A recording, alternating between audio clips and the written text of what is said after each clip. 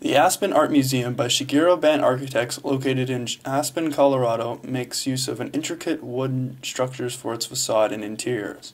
The facade is covered by a woven wood screen, which, through the combination of the transparency of the screen and the light feeling of the wood, gives the museum a lightweight presence.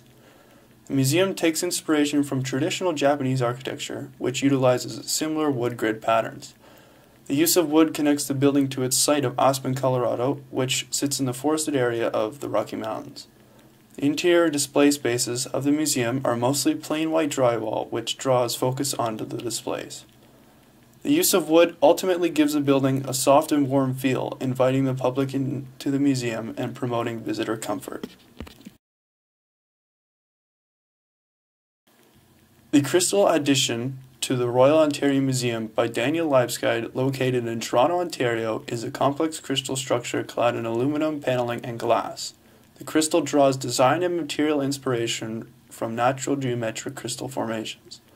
The interior display spaces of the crystal, similar to the Aspen Art Museum, are clad mostly in plain white drywall to draw emphasis on the displays. The addition helps to make the museum stand out from the surrounding urban context through use of unique aluminum cladding and strange form. However, the aluminum gives off a cold and imposing feel, and because of this, the aluminum crystal ultimately feels harsh and rather uninviting to the visitor.